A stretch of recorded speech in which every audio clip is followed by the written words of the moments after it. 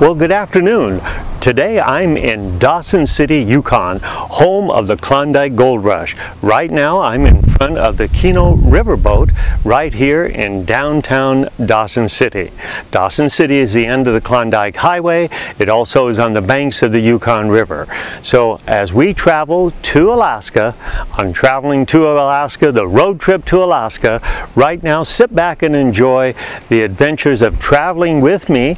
As I mentioned, right now I'm in Dawson City, Yukon, home of the Klondike Gold Rush, in front of the Keno Riverboat. So sit back and enjoy traveling with me as we travel to and through Alaska.